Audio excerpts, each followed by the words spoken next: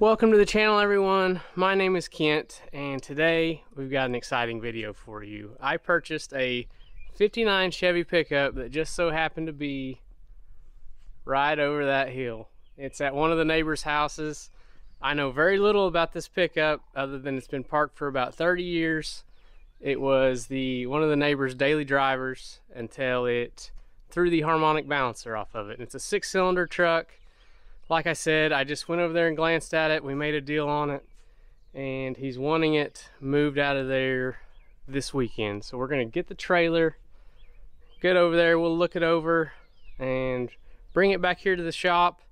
I don't know that the, we'll get a chance to work on it this weekend, but our plan is my son Jack and I will bring it back here to the shop. We're wanting to get it running and then maybe take it to a local cruise night or something. That the plan is to just see about getting it back running, doing the least amount possible. So we're gonna get it over here. Obviously, we're gonna have to address the harmonic balancer issue. He said that he dropped the oil pan on it too. So hopefully, I haven't looked at it that close, like I said. Hopefully everything's sealed up good enough that it kept the water out, but it's been parked for 30 years. Who knows what we're gonna find, but let's get the trailer and we'll get over there and check it out.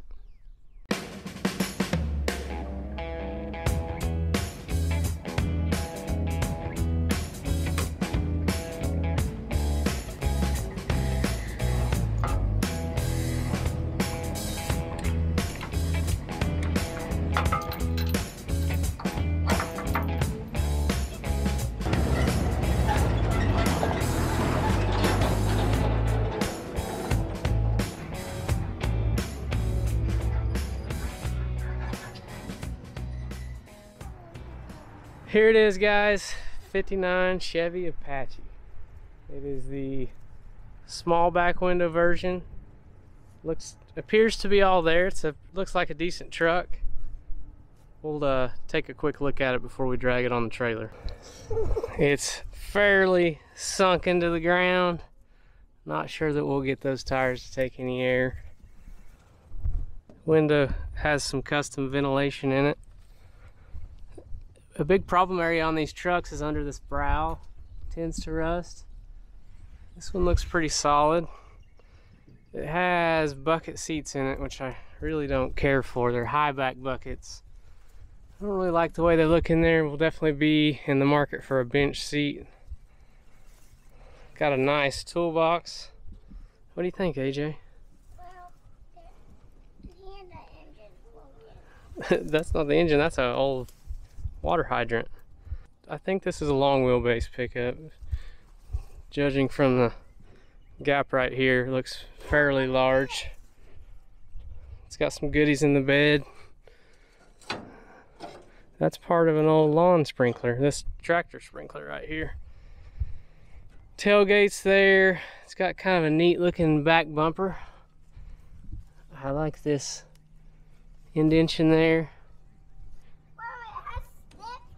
Got some steps on it AJ's using. But a solid, complete pickup. These are getting hard to find. And I found this one pretty much right next door. Yeah, those are some old gadgets.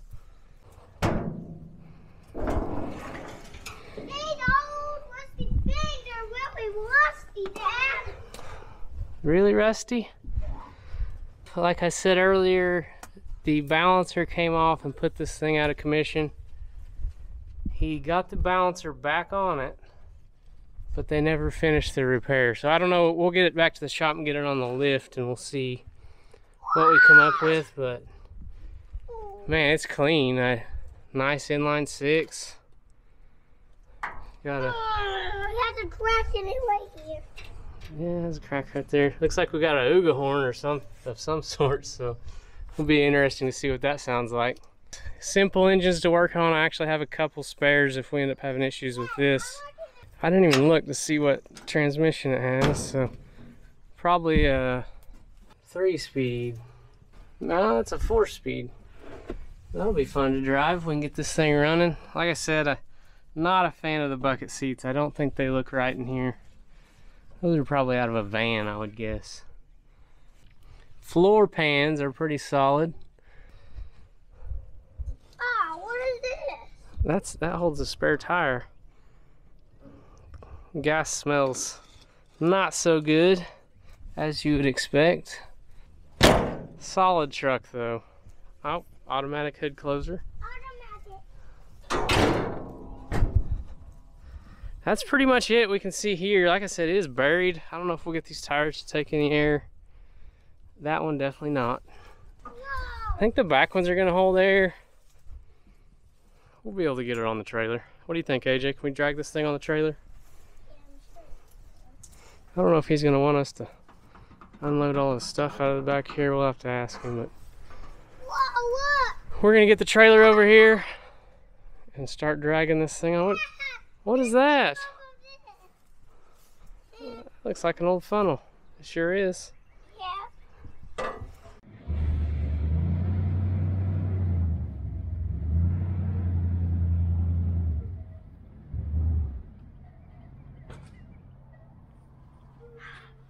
Dad, you almost ran into that truck one time. Whoops. But good thing I said stop. Two of the four tires held air. The fronts that are in the dirt, they obviously didn't. But we are hooked up. We're about to make a pull on this thing, so I'll set you guys up. We'll, yeah, we gotta get the ramps out. We'll get the ramps out, set you guys up, and we'll make our first pull on it, see if it'll come loose.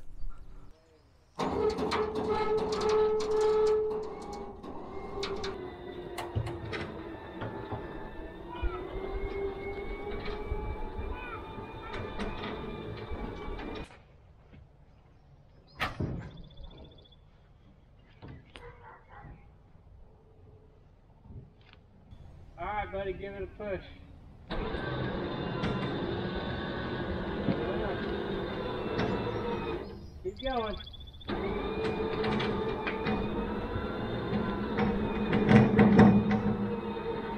Alright, stop.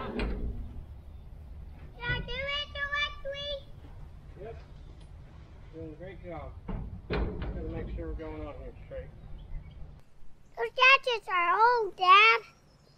All right, push it. All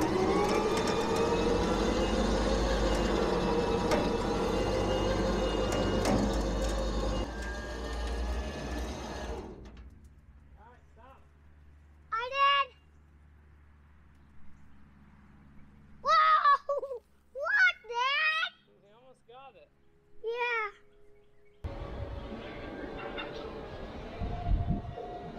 Okay, we're on. Ah! I did it! Good job, bud. You did do it. Pull it down a little bit more.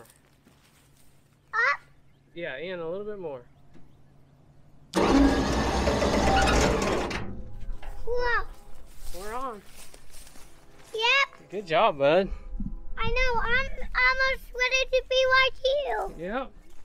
AJ got her on the trailer. He was the winch man today.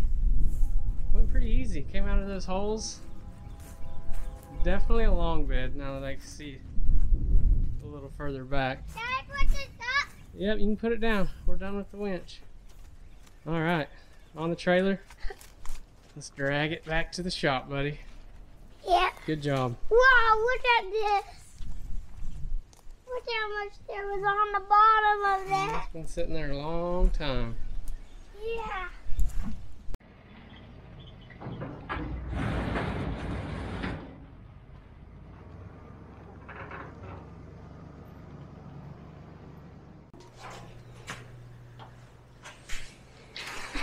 All right, it's the next day and it has not quit raining since we picked this thing up. Yeah. We got it nosed in the shop here. It is a little rougher than I thought. I didn't look at it too close before we bought it. The guy was wanting to get rid of it. One of the things we, before we backed it in here, we kind of tried to clean up the engine a little bit and currently it is locked up. My fault. I definitely should have checked that before I made the purchase, but I got in it cheap enough. I, I don't think that's a deal breaker, and hopefully we can get it free. But still a neat old truck. we're gonna get it in here on the lift and see if we can get that thing unstuck and hopefully fire it up. I don't know how much work we'll get to do on it today, but we're at least gonna get it in the shop so it can dry out because it is wet out here. Like I said, it hasn't quit raining since we picked it up. Had about three inches of rain overnight and we finally gave up on it to quit and we're gonna go ahead and get it inside. Yeah. Oh, Jack's here today too. Yeah. He missed yesterday. So let's get it in the shop, see what it looks like. AJ's still here too.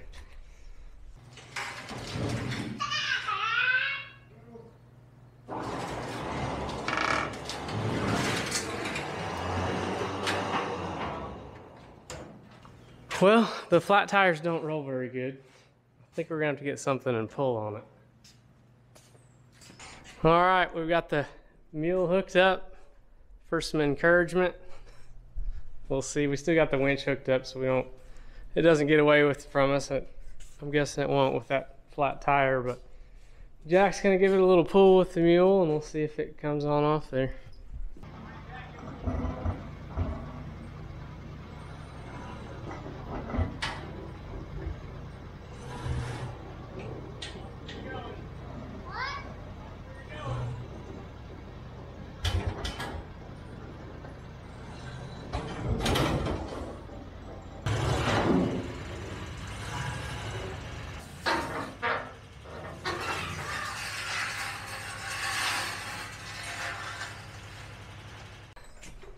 We got it lined up on the lift. I'm gonna start to tear into it, see if we can see any obvious problems other than the fact that we can't get it to spin over. Yeah. See what we find under this air cleaner. It's still got the oil bath air cleaner on it. Is that original or what? I think so. Rather than having a filter in it, see Jack, it's got oil in it. Oh yeah. And that oil catches the dirt. That is a old school air cleaner. yeah. Hey Dad. What, buddy? Is that is that good oil or that's real old oil? I'm sure it's pretty old. What, buddy? Dad, can you, can you put me up here on the bump?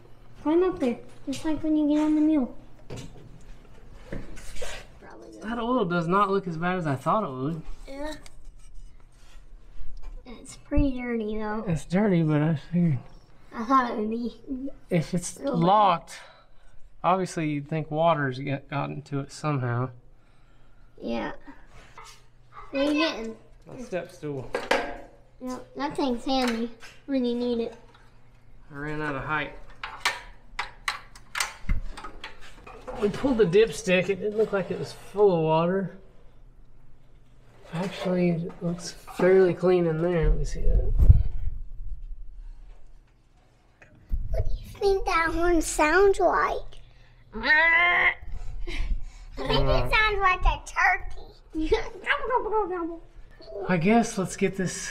Well, let's let's pull the dipstick.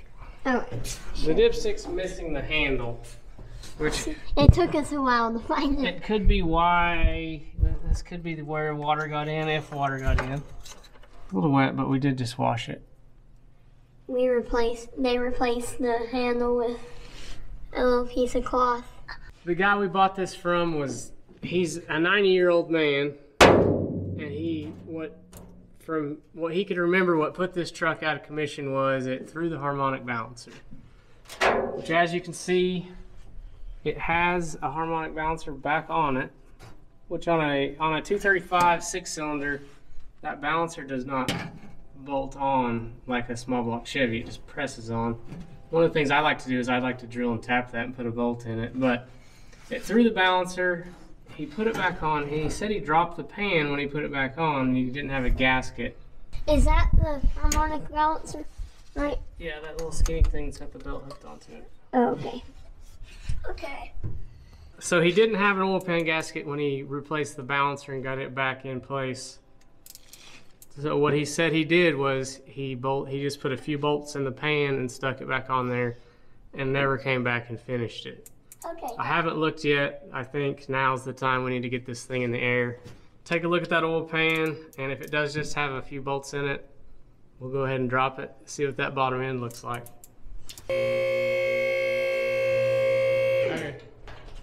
Give her a little test shake. Seems pretty steady.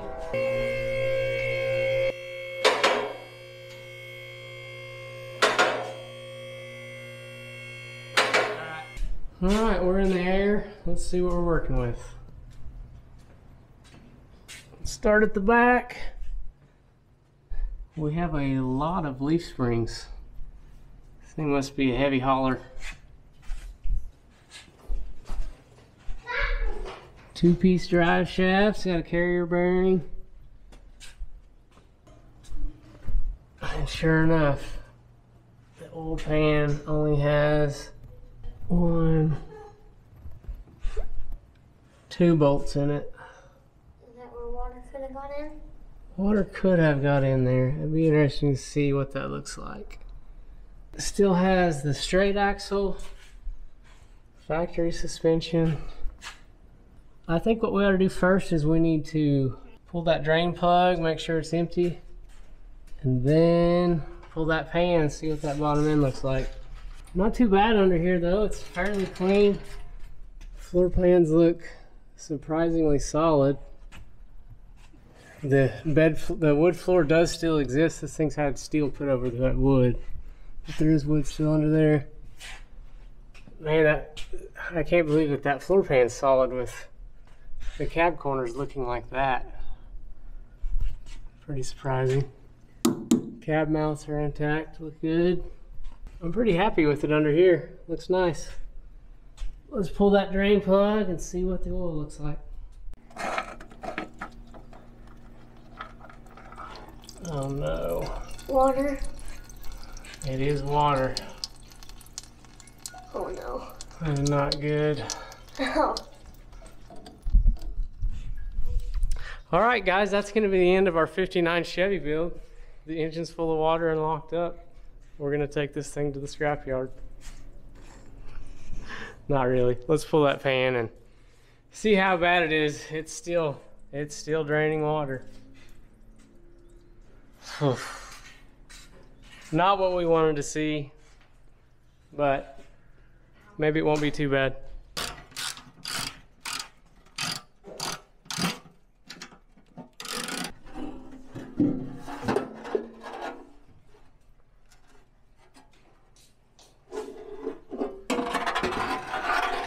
Nice.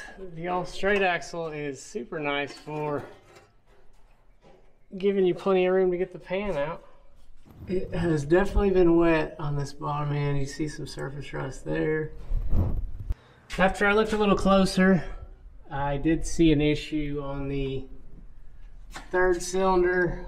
Definitely, I'm not sure if that's showing up on camera, but definitely rusty on that one. Not sure. All the other ones look fairly clean. Kind of makes me wonder if maybe there wasn't a head gasket issue. That's a way bigger repair than I was hoping for on this pickup. I thought this was something we could drag in here and get running in a weekend. But I think we'll bring it down, probably soak a little oil in each cylinder, and then maybe wrap this thing up for the weekend. I've heard everything when you got a stuck engine. I've heard everything from diesel, WD-40, just regular motor oil, transmission fluid. But something I've also heard is Marvel Mystery Oil. A guy gave me this gallon of Marvel Mystery Oil a few years ago. I don't use it for anything. I've never used it for anything, so I thought this would be a great opportunity to give it a shot. I'm not I'm not super optimistic that it's going to free it up, but we'll give it a chance throughout the week and hopefully next weekend we can at least get it to move and maybe we can pull the head off of this thing and see how bad that cylinder looks. Whoa, missed a little bit. This stuff's red. I didn't know it was red. Give it a big drink.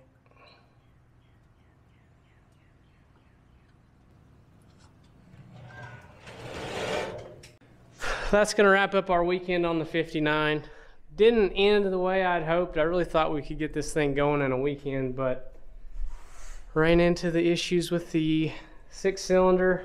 Not not that big a deal. I know we'll still get it. I have a whole nother engine for it if we need it out of a 61 Chevy. that we can stick right in there. I know we can do that in a weekend. So hopefully on our next episode with the 59, we'll drive this thing. I'm excited about it. Maybe we'll teach Jack how to drive a standard in this thing, depending on how it drives. But thank you guys so much for watching and everybody that came over from GrowJack. We greatly appreciate it.